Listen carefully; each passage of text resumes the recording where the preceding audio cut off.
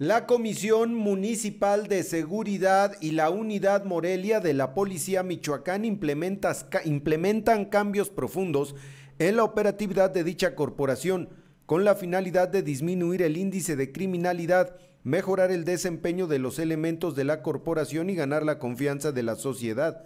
Bernardo León Olea, titular de la Comisión Municipal de Seguridad, afirmó que la policía del municipio se encuentra en un profundo proceso de cambio en respuesta a las estadísticas de seguridad que indican que a pesar de que según el Sistema Nacional de Seguridad, el año pasado el robo con violencia aumentó 90% y el homicidio culposo un 8.2%, hubo en promedio una sola detención de presuntos responsables por elemento al año. O sea, a pesar de que se dispararon los índices de inseguridad en Morelia, no se detenía a nadie.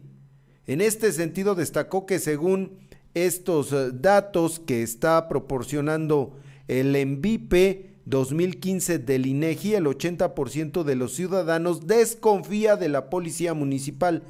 Por ello, la corporación está inmersa en un proceso de fortalecimiento y trabajo cercano con la población mediante la policía comunitaria y pie tierra, además de que se está implementando un sistema de órdenes de trabajo y evaluaciones del desempeño para hacer más eficiente y honesto el trabajo policial.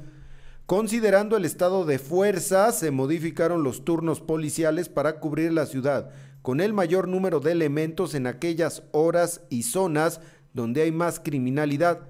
Aunado a lo anterior, la vigilancia de patrullas supera las 50 unidades durante el día. Además, se cuenta con el apoyo de Gendarmería, Policía Militar y de la Secretaría de Seguridad Pública del Estado. Cabe mencionar que la presencia de la Policía de Morelia en los distintos sectores de la sociedad responde a la coordinación que estableció la Comisión para la Seguridad de Michoacán, que dirige el general Felipe Gurrola. No es la Policía de Morelia, es la Policía de Michoacán es un mando unificado y es un solo cuerpo de policía. Eso ya que se lo aprendan en el ayuntamiento, en el municipio.